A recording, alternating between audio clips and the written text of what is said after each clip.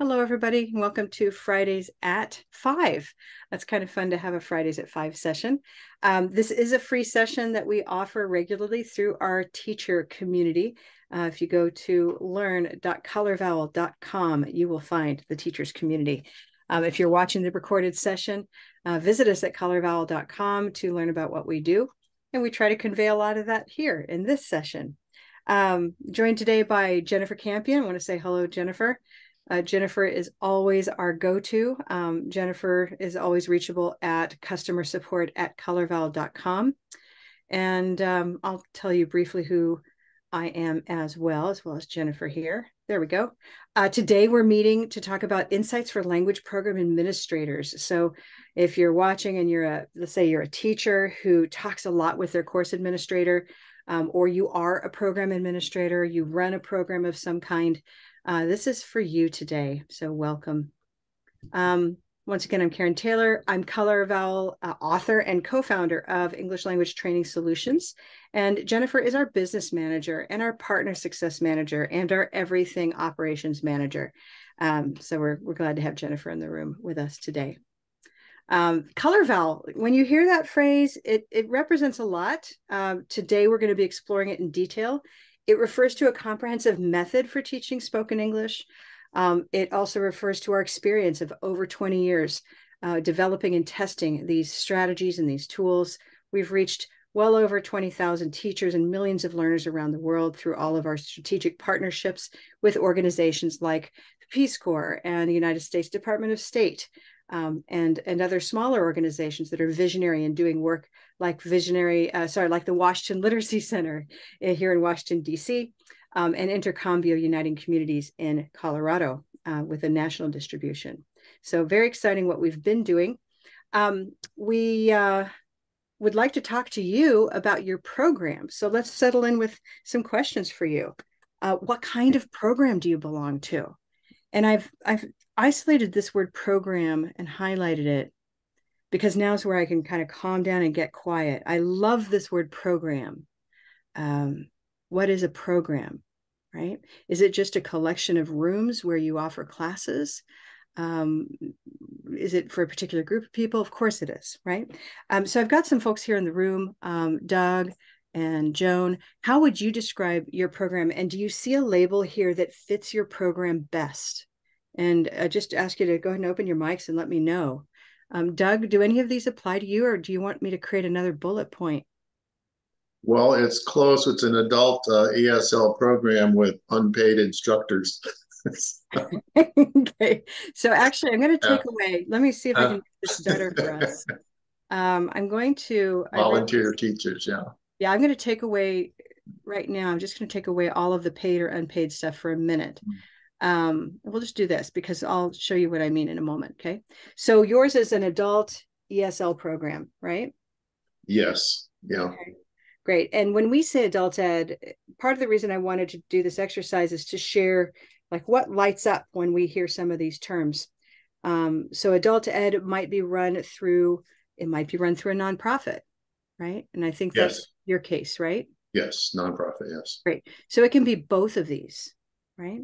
Mm-hmm. Um, it might be an adult ESL program run through a faith based program, through a church, for example, right?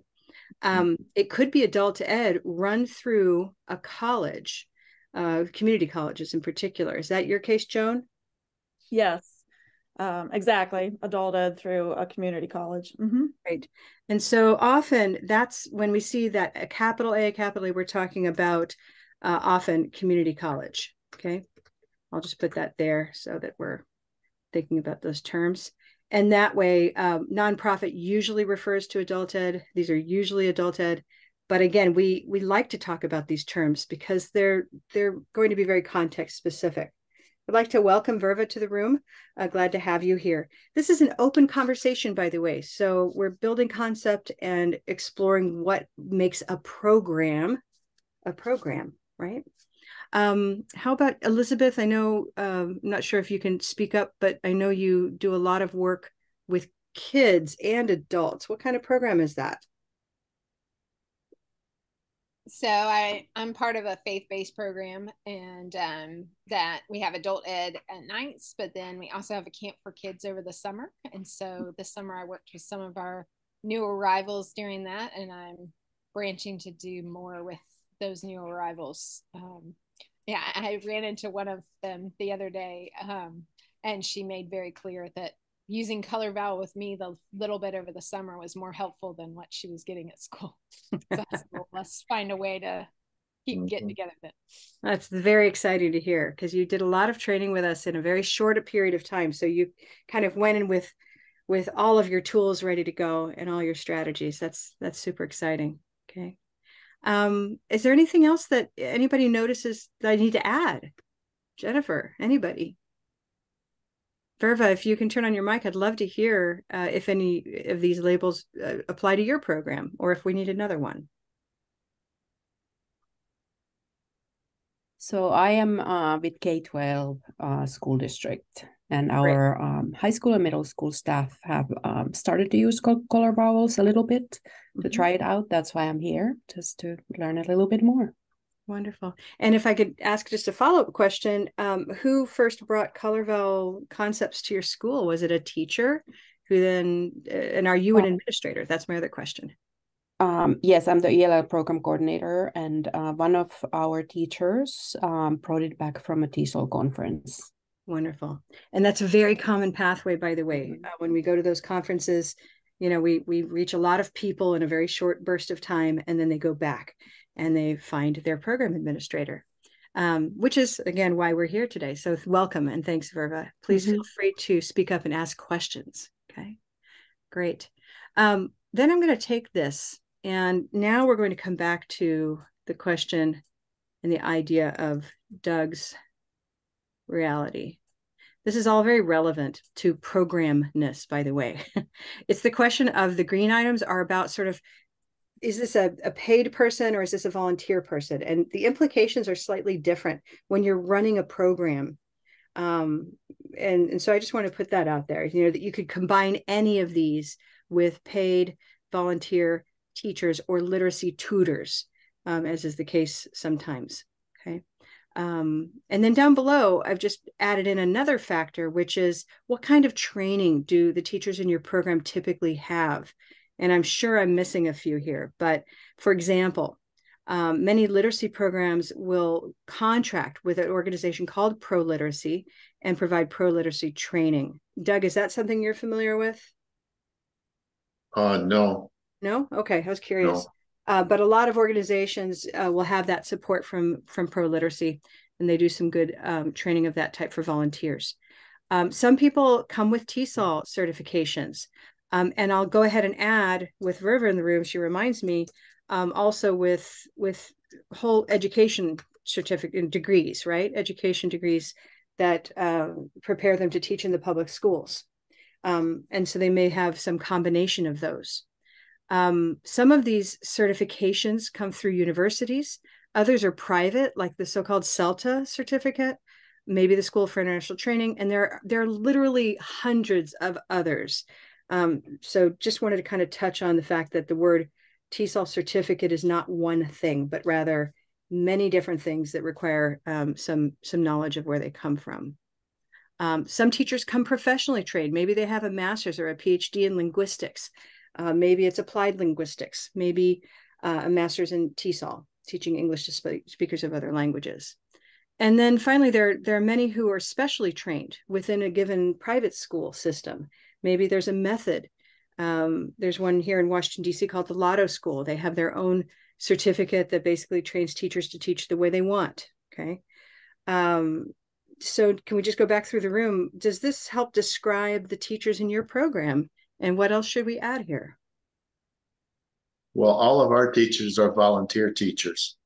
Okay. And uh, I, I think you probably already know that we we were using some ventures books and and our our director wanted to change books. So I kind of pushed them to Intercambio because it has the color vowel charts in it. Mm-hmm. And one of the problems that I saw was that most of we have teacher turnover is probably more than we would like. So Intercambio offers or comes with a uh, when you join their community thing, you get a access to their teacher training program is online, and it's it's used to train volunteer teachers. That's So right. it's not not real in depth, but it's it's certainly better than nothing, and it's certainly a good introduction to uh, to teaching. A lot of our teachers are retired teachers at some level, but not necessarily having anything to do with with uh, um, ESL. Yeah.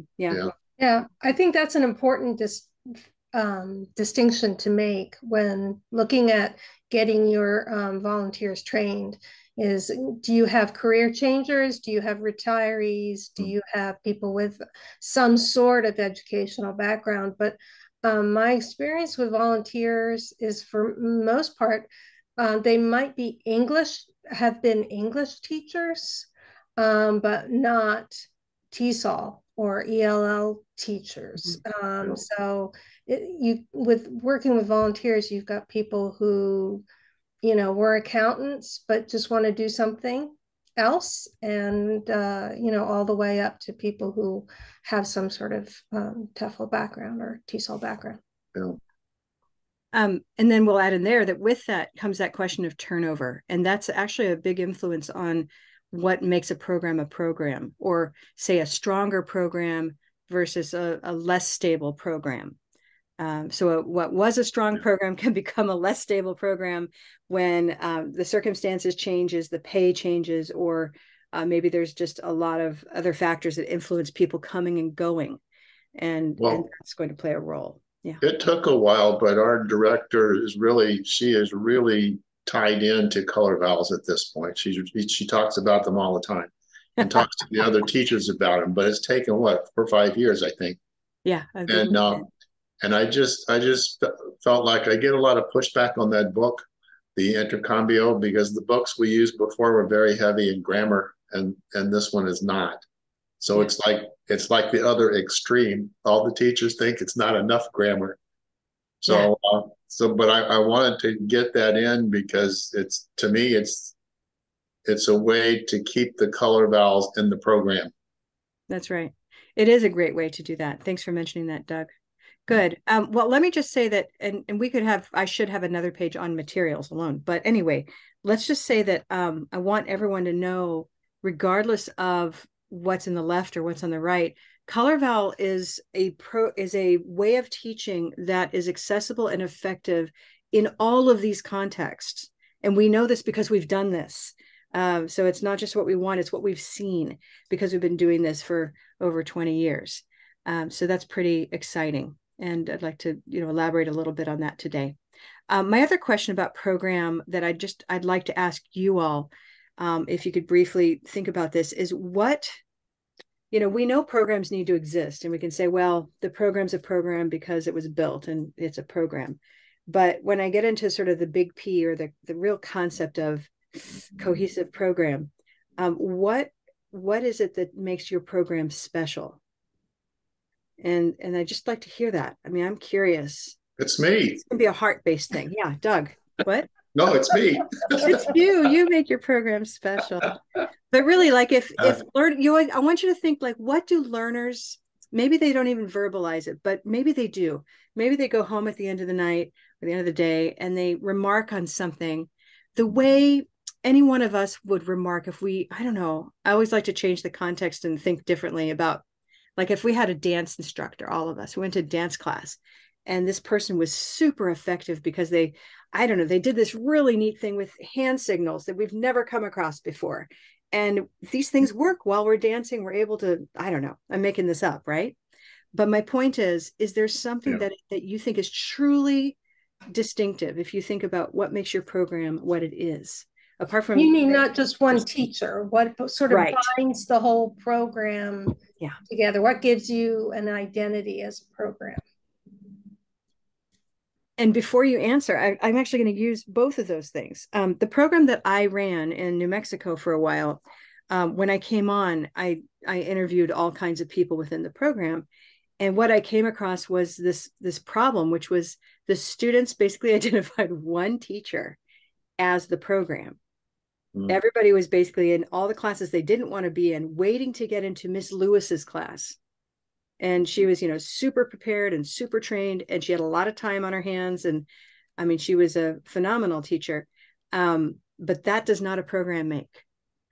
so, so what makes a program truly uh, something that students can have a journey that progresses and and leads to a kind of success. So I just love to know if if you happen to have an element of something in your own program. Mm. I don't know. One of the Welcome. things that uh, we have in my program in Northern Virginia Mhm. is that um, we have a a very large um, cohort of volunteers and volunteer teachers who are very dedicated to um, our mission. And I think our mission is um, very important to them. Um, but we also provide additional student support services like student advising and um, lots of we most we primarily just do ESL classes for adult learners um, at the beginning level. And um, you know those classes in addition to that we do student advising to help set goals for them for where they want to go after us Mhm. and we have a staff that is very supportive of the students and when we hear from our students they say that that is the kind of thing that they really like about us that we are really there for them and we support them through their whole journey from the staff to the teachers to the volunteers and the paid teachers everybody Wonderful. Thank you, Melissa. Um, I'm actually I added some notes while you were speaking to um, to this slide because you helped me round it out. Right. So you mentioned mission. You know, having a clear mission, and this is, I assume, and you can you can turn your mic back on. Is this something like if we were to just find a teacher in your program, what is the mission? Would they know? And could you tell us your mission? I don't know if they would know, but our mission is to teach uh, the basic skills of reading, listening, speaking, reading, and writing English skills to non native English speakers to enable them to better access. Um, you know resources in the society for work and education and then to improve their lives Beautiful. Thank you. Great. And i think and some of them would know the mission and they have a sense of the mission but not everybody yeah well and it's hard mission mission statements as much as we try to craft them um, they have to continually be disseminated and trained. So sometimes we we have other things to do and you know so if you get the feel of the mission that sometimes has to be enough and sometimes we go back and have an initiative. So um, i agree it often will come out through the culture of the organization um, between trainings. Um, having a highly dedicated team of instructors or volunteers you know i'll use that word instructor for both teachers that are paid and volunteers. Um, ongoing dedication to professional development. That's that's a big piece to many stable robust programs. Um, just the teacher's knowledge that they have support to go about professional development in their own way or that there's a great program for it helps reduce turnover and increase a sense of program. Effective leadership which you know the people in the room are the effective leaders. They're the ones that seek out new ideas.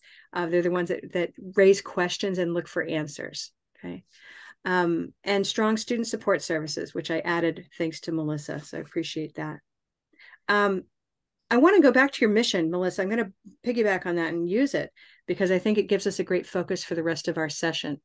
Um, my question would be is if we want to empower students which i think it's pretty safe to say that's everybody's goal is to empower the learners to be able to go out and manage systems um, and and achieve certain goals that they need in their life. Um, and so the question i have is is how effective do you feel your program is in providing learners with speaking confidence to actualize all of that great learning the grammar the vocabulary the reading, the writing. Um, how effectively do you feel they? Well, how confident do you think they feel?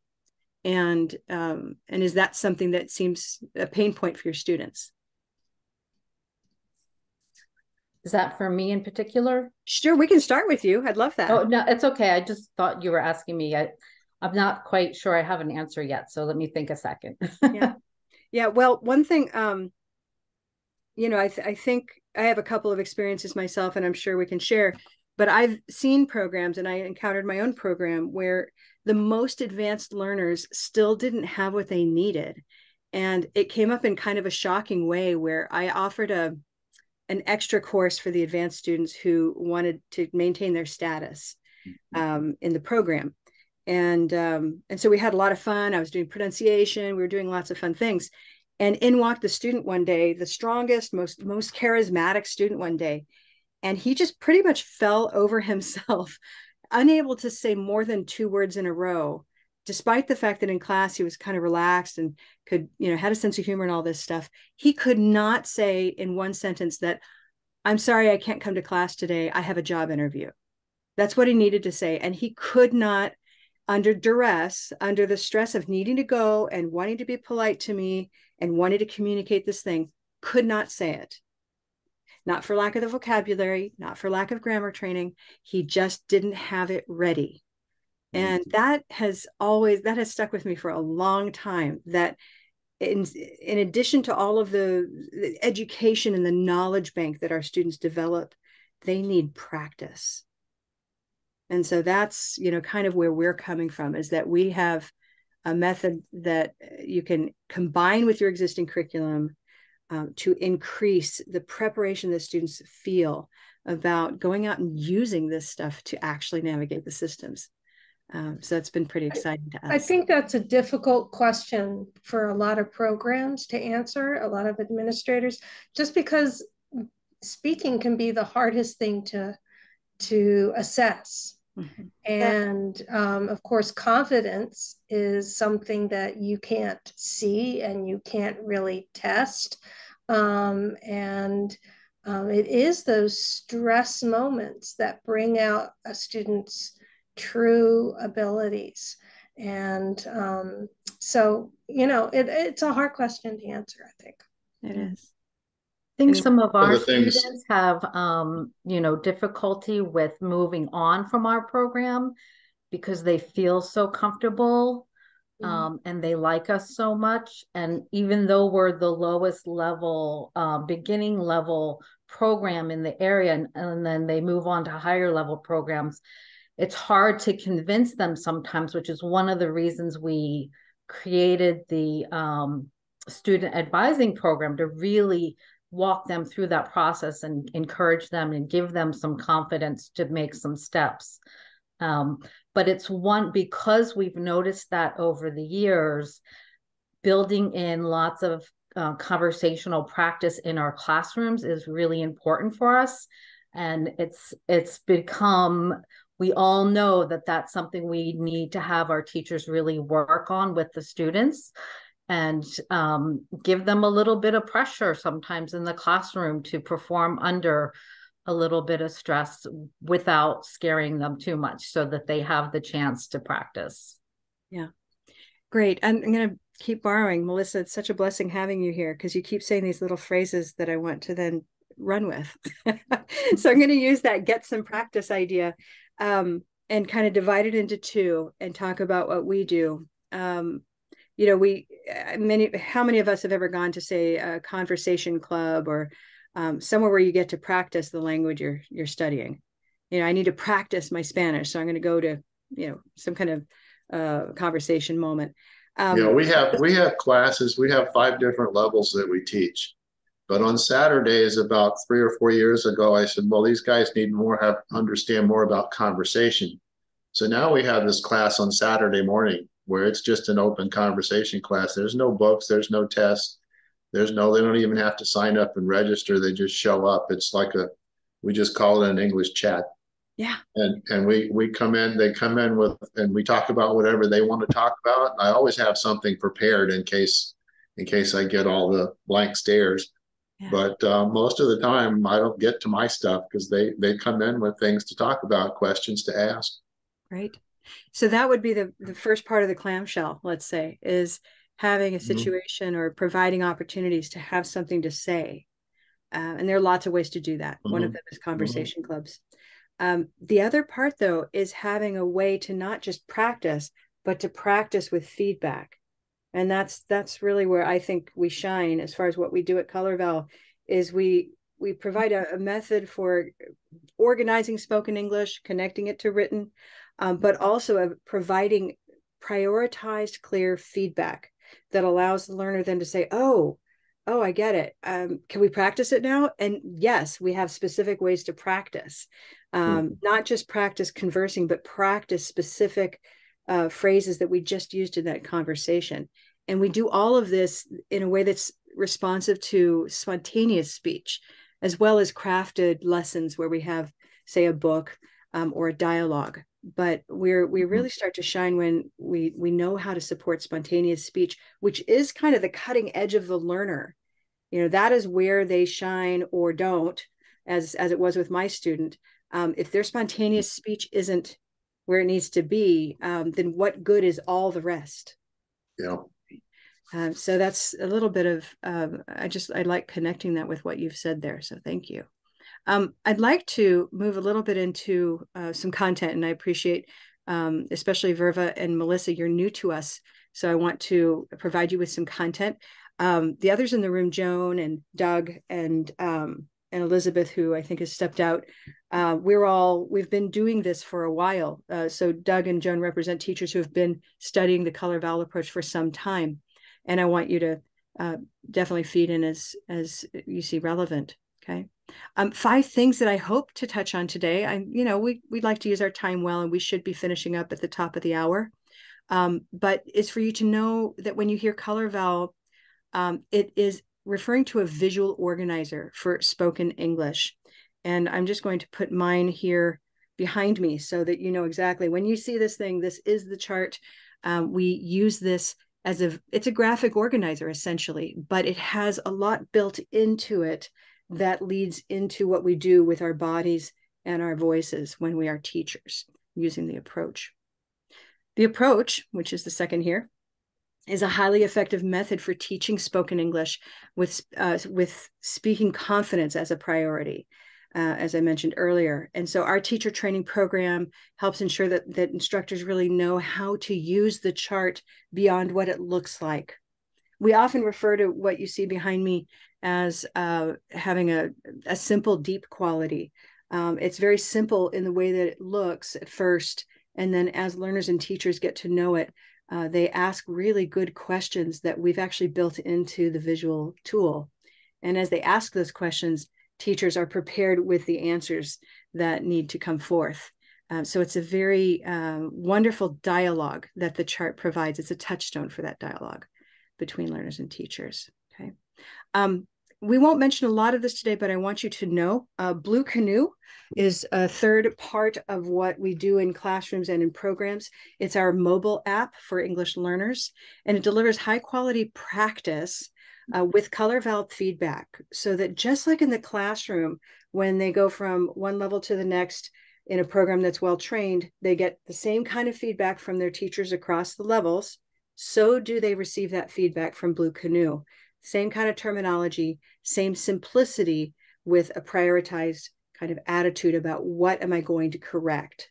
Um, and that's that it has AI built into it that helps us create that prioritization um, so that we're not just telling them everything that's wrong with their pronunciation, but rather the one thing that will make it much better if they uh, say that phrase again into the app. Okay. Um, licensing, we may or may not get to dive deeply into it today, but I want you to know um, that licensing allows an organization to use the Color Vowel brand. This is especially useful for uh, programs that need to advertise to get students. Um, it's it's a little bit different for nonprofits and programs that have, say, uh, government funding or foundation funding. Um, but there are some uses for it as well uh, that we could look into when when there's interest. But I do want to mention accreditation. Um, accreditation is our way of helping a program be sure that they their investment in training for teachers is well invested, so that you really have an outcome uh, to create a program that consistently implements the the Color Vowel approach consistently reaches learners in ways that that truly affect uh, their success. They're able to, you know, to leave that program possibly earlier because they're able to manifest what they've learned in their interaction with others. Okay, so that's um, just to know that we've got licensing and accreditation. Um, and Jennifer here, who's in the room, you can raise your hand, Jennifer, is our main contact for anything involving training, um, volume discounts on training for schools. Um, those kinds of questions will all go to Jennifer, and Jennifer will put her email in the chat. Okay. So I'd like to briefly walk through these, um, and you're welcome to use the chat to say, since Melissa and Verva, I don't, I don't know how much you already know. Um, so if you give me feedback, like I already know something about this, it'll help. But I also don't want to skip over anything, uh, and it's always a good reminder for all of us anyway. Okay. Um, the chart you see behind me is the chart, and so is this, right? Uh, this is a black line version of the chart. Uh, each phrase represents a vowel sound.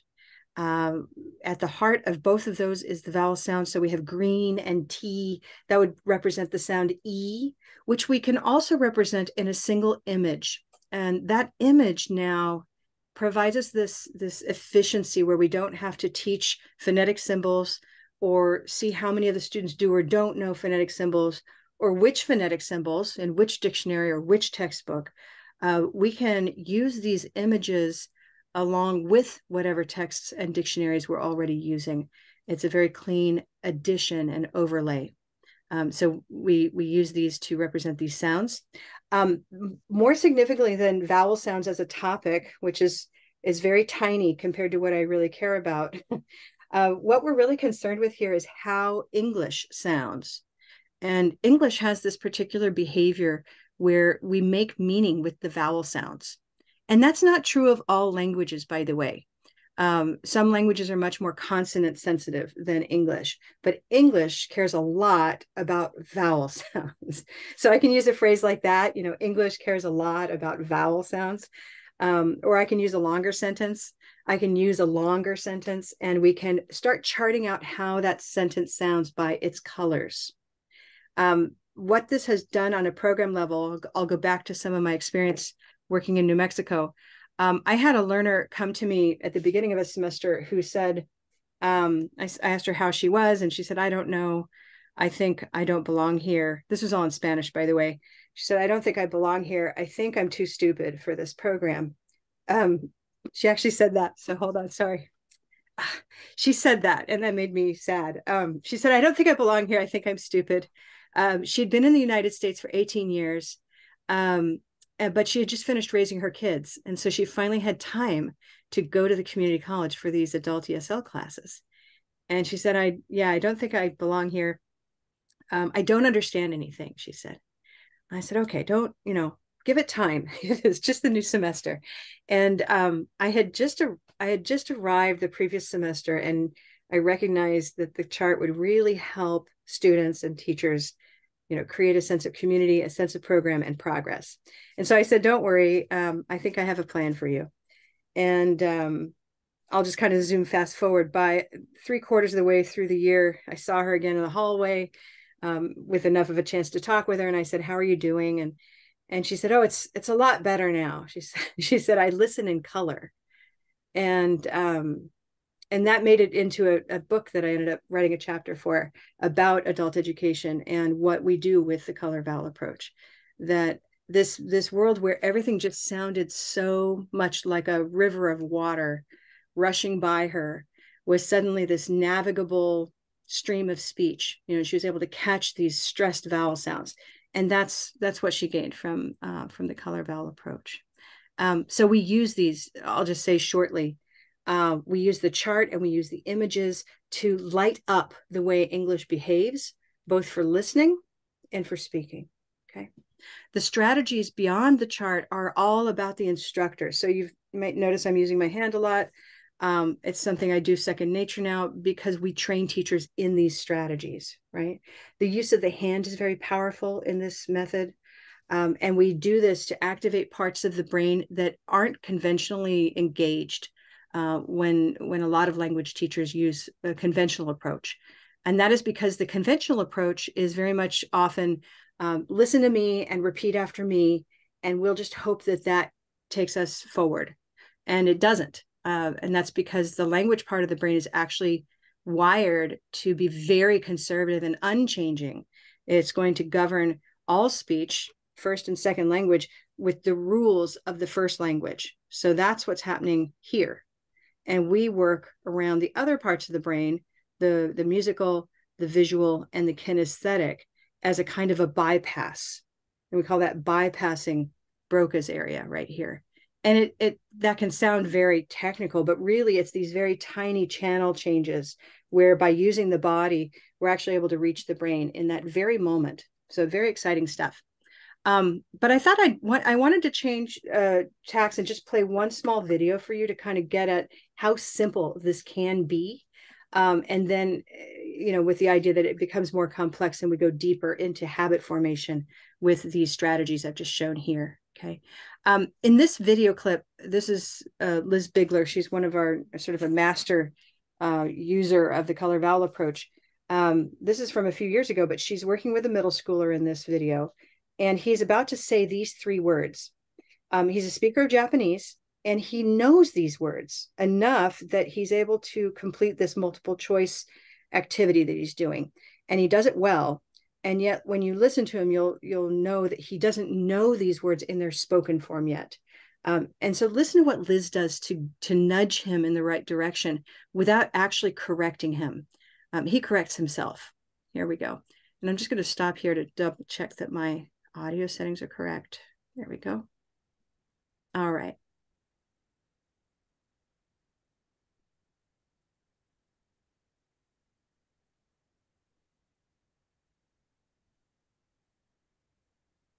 And she could hear the impatience in her voice downstairs. Okay. What if I tell you that this word is gray day? Gray day, Mm-hmm. impa- impatience. Yeah. She couldn't believe this many people were here to see her. She was a no, novice, novice, Which one? novice. Okay, I'm gonna tell you that it's an olive sock word. Mm, Olive sock. olive sock, novice. That's right. Mm-hmm. Most new performers never had this large of a crowd. What's this word? Crowd. That word is brown cow. Crowd. Yep. That's a pretty powerful clip. And, um, you know, I know others have seen this, but Melissa or Verva, any reactions that you'd like to share with that?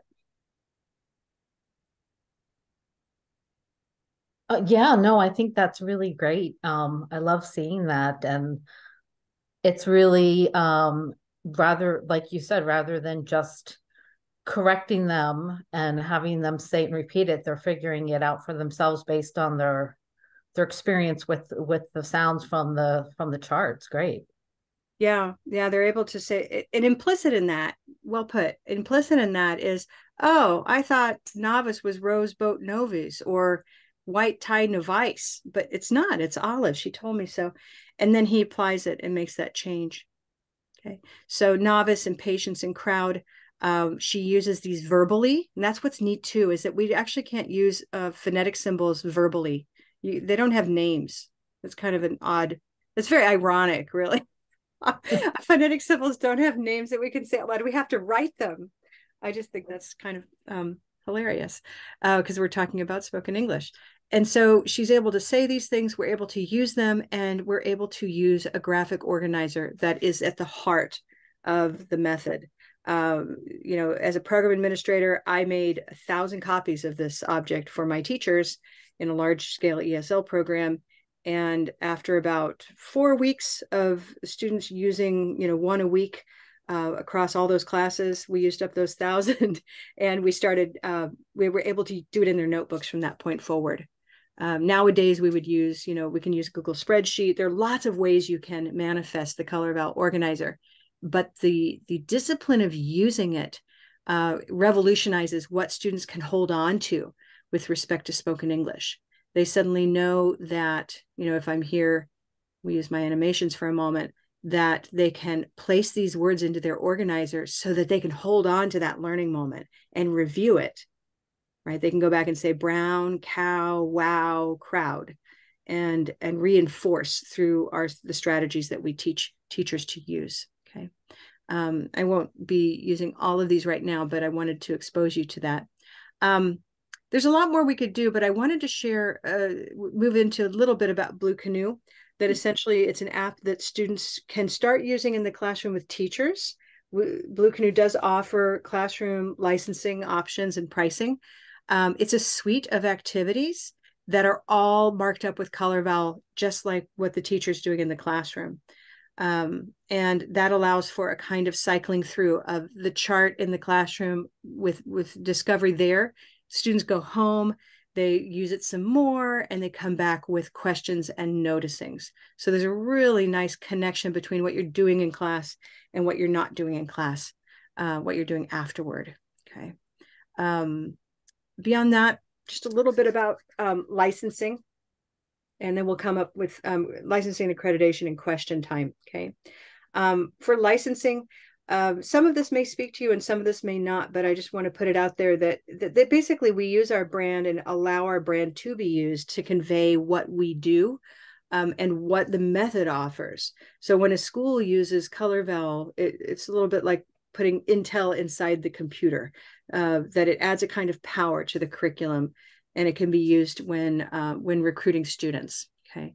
Um, it can also be used in anything that represents the publicity of the school, like a YouTube video, um, attracting students, as I mentioned, um, maybe to put it on your website to show that you are engaged in a robust program that that really knows how to do spoken English. Um, it might increase traffic that way because we promote you when you're licensed um, and that you're recognized by students. And more and more students know color ColorVal because we reach we reach them globally through our, our free online class for the world and through a number of other initiatives. So learners recognize color ColorVal more and more as well. Um, this is just an example. Keenan Rhodes is uh, one of our accredited licensed partners. Uh, she has a, a program and a, a, school online called the Clear English Corner. Uh, just as a kind of little case study, you know, she started with us. She did her level one training. Um, she's now doing her level two practicum soon, um, and her business continues to flourish. Okay, um, you'll see on her website that she's got a lot of Color Vowel branding there. Um, before she was doing Color Vowel, she had videos that relied on phonetic symbols. Uh, it just was like one more barrier to or or friction be- between the teacher and the learner getting to each other. And now she's there online um, teaching with the color vowel chart. So it's kind of fun to see how that looks. Um, accreditation goes hand in hand with uh, with licensing. And this is basically a, a training and support program on a school-wide basis. Um, so it's an 18-month partner program. Uh, you can implement the color vowel instruction across your program with our help. Uh, we provide you with a, a, kind of a profile of how many teachers should be level two trained, how many should be fully level one trained, and how many can um, should be at least basics trained, which is a on-demand self-trained course uh, that we offer uh, so that you have this kind of portfolio that allows for some teacher turnover while at the same time having a stable base of trained teachers.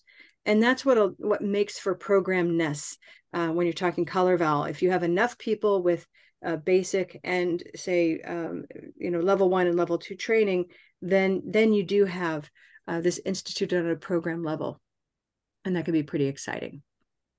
Um, here's an example. Uh, this is a K through 12 school here in, in Maryland, uh, the International High School at Langley Park. Um, this is a case where I kind of fold back to the question of mission. Um, their mission is empowering collaborative critical thinkers for success. Uh, and of course, there's a mission statement that goes with it. But what I found phenomenal was that as we partnered together for this accreditation, um, they we really met and they connected what we do to every aspect of their mission and their their principles. Um, and so i mean these they really um, how can i put it? They're kind of they're nerds about their mission and their principles. And they they they come back to me time and again and say okay i think it really fits with experiential learning. And then we develop an entire training thread around that Um, so we work very closely with the school, in other words, um, meaning you know that's their particular uh, lens on on their educational program, and that's what we do with every school is discover what what lies here and how can we connect with that. Okay. Um, and so it starts to play out in all kinds of ways. This is uh, these are just glimpses of of that school, uh, where in their Chromebooks the students pull up uh, you know the day's assignments or the objectives and you start to see color vowel images and this allows students to be the ones who do most of the speaking in class. It's a lot like you know starting to be the presenter so that you're ready to present when it's time. Uh, so a lot of teacher talk goes down and learner talk increases dramatically when everybody knows that there's a good way to support that okay um, the way teachers mark up words on the whiteboard changes It's very tiny, but a very significant shift uh, so that it's accessible and replicable. Um, Amal is olive sock Amal, and, and this is the shorthand for that. Um, and then finally, this is just from a math classroom where they're they're building up a vocabulary base, not just of math words, but organized by their stressed vowel sound. So equation is a gray day word because that's where the stress is on the A of equation. And we we didn't move into that t- too deeply today but um, but that's essentially how we organize okay? Um, in terms of if you're an administrator you're thinking about training professional development our training has two components at the level one um, segment and that is basics which is an on-demand program uh, that you can purchase for teachers and then they complete often as a community of practice it's great to have them in groups so they can discuss it um, and then we offer the live practicum as a way to finish out that certification. Uh, so this is with a live trainer like Lynn here, uh, sometimes me, sometimes someone else, right? Um, and so with that, you can have your whole team trained, and we're happy to talk with you uh, to to explore options about that. Okay. Um, level one training basically provides learners, uh, teachers with what they need to know about the approach. And then um, level two training is where we go deep and actually do the practice. So this is one very large practicum, um, or not very, but essentially larger, more detailed practicum. And you can see that we have, you know, a number of. Um, I think what's most remarkable is partly the sound awareness that we build in teachers. There's a lot of training so they know what they're hearing when a student struggles with speech. Um, so that's that kind of training is is not easy to come by, and it's something we really excel at. Um, I'm going to stop here and just mention that eh, I'm sure, depending on the school you work at, and I'm thinking here of Verva, um, public schools often have non-native English-speaking teachers in those schools who might be teaching math, for example, or maybe science, um, or maybe English. And a lot of times, those teachers, when they discover color they also want to eh, receive some support and instruction. And so we do have a course uh, for non-native English-speaking teachers uh, for Melissa, I'm thinking of you. Um, you know, if you're at more of community college or adult ed, um, you'll find a lot of times the content instructors close by are also there are a number of non-native speakers who wish they felt more confident about the way they spoke, and so we we offer this course for uh, teachers. That's great. yeah, we we do have um we have a handful of non-native English teachers. Definitely, that would that would be great for yeah, it's nice because uh, if they're eventually going to be the ones who are trained in it, they get to learn with it 1st mm-hmm. They really get their feet wet um, in that course. Okay. Um, and so this is this concludes, you know, my presentation, and I'm very happy to stay a few more minutes. We started a little late, um, and to take questions uh, about any aspect of of what we've sort of mentioned here today. Um, becoming a partner is one option. Um, we we know that that's kind of a deep uh, concept of a deep dive. Uh, so we do everything in between. We find, you know, just as uh, Verva mentioned earlier, you know, a teacher came to her school who knew color vowel from a conference, and that's usually our our strongest way in is a teacher who feels passionate about it. Uh, will come and tell another teacher, and then maybe an administrator. Um, so we have what I call toe in options where you just put your toe in the water, like with basics, that course. Um, then you can wade in with a level one certification training. Uh, it's not, it's only a four week uh, commitment. And then and then the level two presents kind of the deep dive um, into the method so you really know what you're doing along the way okay? Um, so what would you like to know? And and doug and joan feel free if you want to add anything along the way but i would love to hear if melissa or verva have questions. Okay, so I can give you first compliments Thank you on yes. the on the program itself. Um, so when our uh, teacher did um, a session for our um, ELL specialist group, and um, it was lovely. And for me, you can hear obviously that um, I have an accent. so um, I loved your chart um, that you have. Like it made so much sense to me. Um, you know, just like being able to like organize in my mind. And um this has been i think a great tool our district and our i'm from alaska right now so uh, um you know we have jumped this year to the science of reading bandwagon which of course comes with um vowel valleys etc but this is a more secondary version of it. So it has been a great tool uh, for middle and high schools so that it is not the same as what the elementary students are using. So it has made absolute sense for them. And um, i do have um, so i have not noticed that there's an app before so i'm very interested in the app so what is the pricing on the app because i did notice i i went in the meanwhile to check a little bit out but um So- so what is like the premium package pricing for that Yeah, that's a good question. So Blue Canoe um, is a partner and they are a separate Mhm. company. So I'm not going to be able to answer with a number. What I Okay. know is that the individual price from the App Mhm. Store is somewhere around $49 for the year. And then they, what they do for schools is volume pricing. So it's only down from there. And I think there's some pretty significant discounts. So um, I can put Mhm. you in touch. Uh, thanks, Jennifer. She put that in the chat um the the website if you know you can save this chat but blue canoe learning just add learning because there's there's a beer called blue canoe so we, so blue canoe the, the app organization is blue canoe learning dot com um and and support exactly support at bluecanoelearning.com um riley my colleague there riley uh, will help you with with that question. Okay. Um so but you have an idea now of how Mhm. it's not higher than that okay?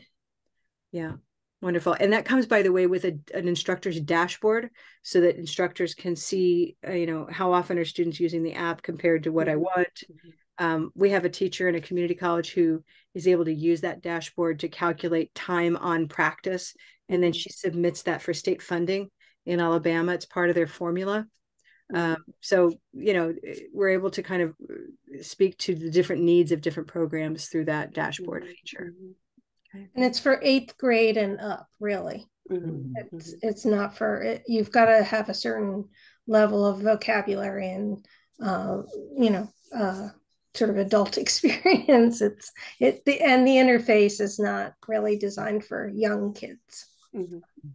um, that said we do have materials for um, uh, do either of you work with k through somebody works with k through somebody no okay then i'll just say but our materials are are definitely accessible to adults um, and one of our programs or one of our products which is a, a game um, is accessible to children so we use that a lot for adult literacy and family literacy uh, to bring everybody together Mhm.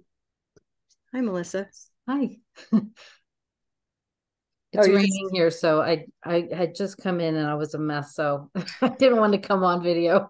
oh you look great i can't tell I'm in Northern Virginia too, so I hear Okay. I hear that Oh. rain out there. You know, I I work at the English Empowerment Center. I think you're familiar with Xavier Munoz. oh sure Yeah, Xavier is my uh, supervisor. Yeah. And he and I, I'm the faculty support manager, and he and I have just started talking about um, using the program more extensively across our classes. Um, we have a number of teachers who have really, you know, dove into it and um, are using it in their classes, but it's not across the board at this point. So, Yeah. You know, he and I have really just started chatting about this, and we'll we'll definitely be in touch. You know, Great. Oh, we'd love that, Melissa. Yeah, we've I've trained uh, Xavier in person. I sometimes call him Javier, Xavier, Xavier. So Yeah. we all know he can he can go with many different names, but Yeah. um, he trained in person with us, and he's been just a, a long time champion. yeah, of what we he do. really is. So that'd be very exciting. Um, it's very powerful when I mean it's obvious, right? When when when teachers don't have a way to talk about spoken English, they either don't talk about it because they just say it's too messy, I don't do pronunciation, Mhm, um, or they make up their own way, mhm. which sometimes risks, you know, being inaccurate um, because our brain is hiding from us how we actually speak. So we can have an impression and that can go kind of sideways. Um, or they are somewhat trained and they get very technical. And so then you got people who are using IPA and other people who are using long and short vowels. And, you know, then now it's a mixture and learners suffer. Um, so when when you talk about that across the board concept, that can be pretty powerful. And, and that's what our accreditation program is really about, is helping you build that um, curriculum, build that thread and that um, uh, that ability to have color vowel across your program. And so we work with you. We meet with you during the um, initial term of your accreditation. Um, we uh, meet with you monthly Mhm. um, and uh, every three months we meet with all of the partners and um, who share and uh, you know we kind of guide you along the um, route of as karen said um, the optimal amount of training for your program. Eh, we look at each school each institution each organization individually to see what's going to work best especially going back to what we talked about at the beginning which is how many volunteers do you have? What's your turnover? And um, you know being able to say that you're a color vowel accredited school means that you are able to um, provide a certain level of uh, training or teaching in in spoken english at a certain level. And so we help you find the the way to do that you know as effectively as possible and as economically as possible. We have had a number of students in, in our uh, school, I guess you call it, that after they take the first basic course or the, or one, one or two courses in our classes, they go into a paid place and because they think they're going to pay some money and get better to better studying, I guess. I don't know. But then a year later, they're back in my classroom because they they really they picked up on the color vowels. They went someplace else that didn't have it, and and they didn't get what they wanted. And I've had a number of them tell me that that our classes are better than what they paid for before. our free classes are better than what they were paying for. So Wow. I think there's probably a lot of schools that need to do something else. Mhm. I think the color vowels, one of the things I'm sure that it does for my students, it gives them confidence in their ability to pronounce. And that's one of the things they're always afraid of is that they're that, that the wrong sound is going to come out of their mouth. And that stops them from having conversations. So it's it it's helped a lot. It, it gives them I- a strategy to um, to be understood. So if they're not being understood, they Mm-hmm. have some techniques they can try, strategies they can try to to be better understood. Yeah.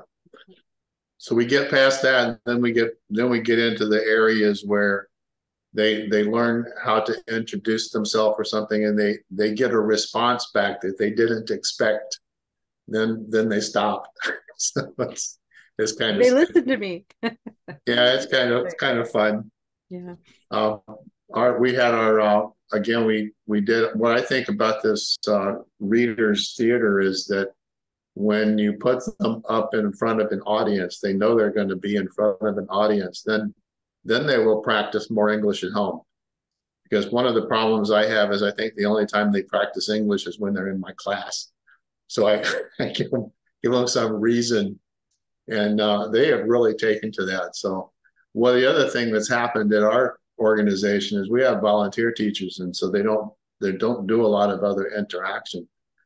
So I started doing these readers theater things, and and now the other teachers are competing with me. so, so they're they're singing songs and they're doing other little skits and things at the end of the term to to compete. So it's kind of interesting. Well, and and word spreads, you know, that these brain-based strategies, that's part of why songs are so Yeah. great, so forth. Meaning we we also validate fun uh, because that fun often is brain-based. And we can provide, you know, real Yeah. reasons why it should be part of a curriculum or part of a program to have these kinds of culminating events. Um, I can show you what we did if you have an extra couple of minutes. um, yeah, after we finish the session, I'd love Yeah. to. That'd be Sure, great. Let me know and I'll show you what we did last week. Definitely. Um, ladies, I want everybody to know uh, we do have this webinar series coming up next week. Um, and you can register for that. I just gave you the form as a link. Um, you can share that with your teachers. Um, if and I'm curious, Verva and Melissa, have either both of you um, have you received our newsletter this in the last couple days? Anything announcing that webinar series to you? I, I've gotten it. Okay, if you just register on that link, then you'll get the reminder and you'll get the link, the Zoom link and everything in, in time. Feel free to share your the email or even this registration form with your teachers. Um, you don't have to attend live, but you'll get access to the recorded sessions. Mhm. Um, Okay. So it's just a great way to kind of make professional development available. Each of those is a one and a half hour webinar. It comes with a certificate of attendance or certificate of access or something like that that we provide um, for anyone who comes. Okay.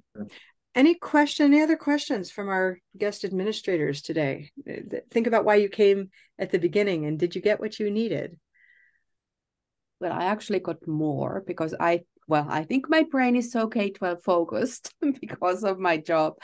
I had not even think thought about the adult education. And, you know, while we do not do it, we collaborate with our local nonprofits. So I would very much like, I don't know if you're comfortable sharing like a PDF of your slides.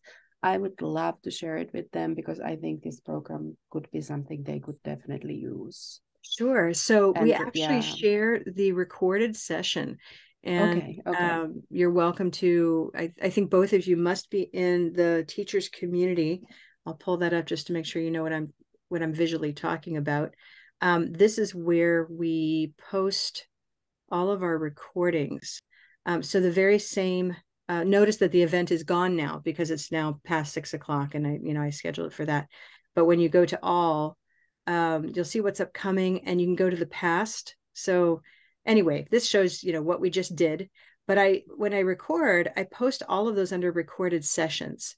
So just be sure to take a look over here. And once you see this, and I'll go out of my way to send it to you as well, but I just wanted to enable you to know where to come. Um, you can always watch it on YouTube and share it. Okay. Um, Mhm. but we would love for you to share this with with your adult ed program administrators in your area that you work with. Um, and we'd love to talk to you about ways that you you two that all of you are collaborating because we're we have a very passionate spot in parent ed and providing um, games and activities that parents can do with their children even though they're on different trajectories. Like the parents are often on a uh, you know the kids are on a reading journey where they they're sort of 1.5ers they speak some english but the reading and writing is the thing. And then the adults are on this other journey that's like, like the hesitation to speak and the, the the speech awareness. And we bring them together with these really powerful games of ours. So literacy nights that kind of thing. Okay good. Any other comments or takeaways as we wrap up today? This is how we finish all of our training by the way. Um, just even one new twist on an idea. Joan you're always here and you think a lot. Is there like a, a takeaway that something you thought about in a new way today?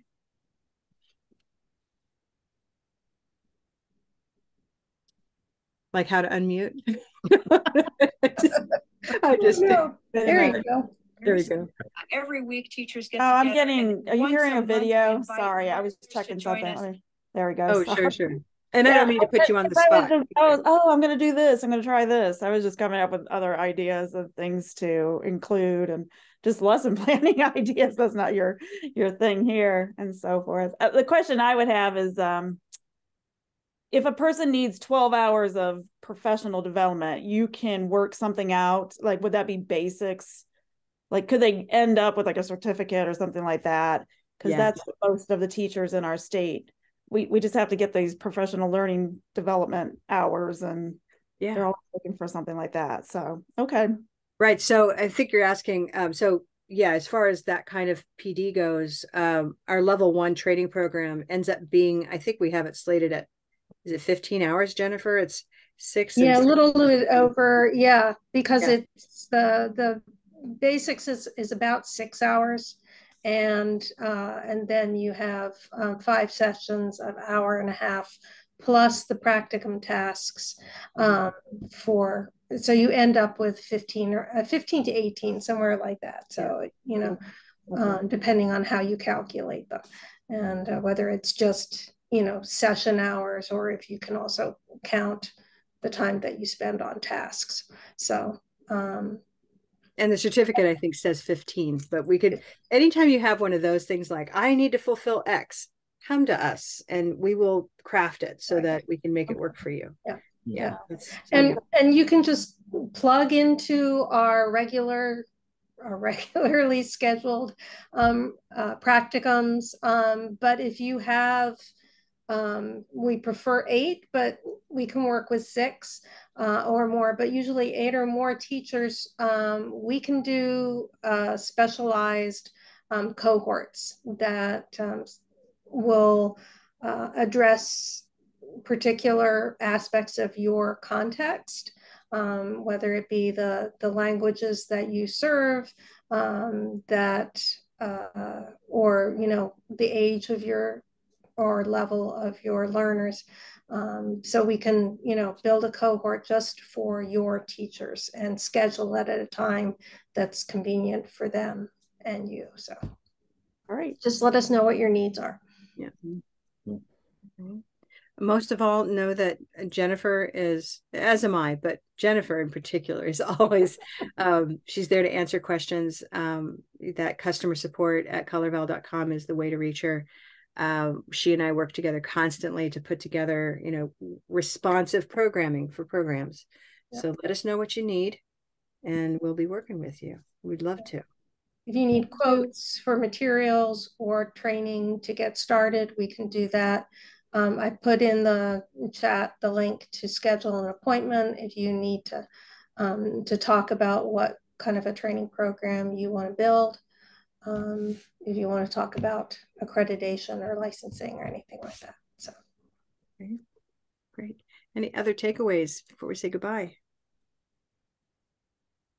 I want to thank you for your time and your energy on a late Friday night. It's rainy and cold, and I don't know what it's like in Alaska, Verva, but uh, over here, you know, we uh, or who's it? Wait, who's in Alaska? It's Verva, right? Yes. Yeah. Okay. Well, it's maybe it's still light out, but um, but either way, you've you've sacrificed some time to be with us, and I really appreciate that. Um, please keep in touch, and we'll be talking to you soon. Thank you Thanks, very much for everybody. the session. Thank you so much. Thanks. Bye bye. So if you want to see my video, I'll show you. Sure, I'm going to hit stop record and anyone can stay.